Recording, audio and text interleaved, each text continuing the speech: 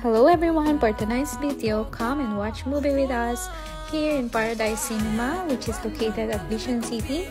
We will be watching fan screening of Top Gun Maverick.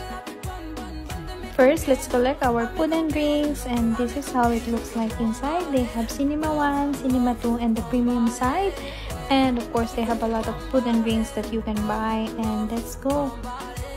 And this is how it looks like when you enter premium side. Okay, and hi Joy, she's my friend. And now, time to go inside.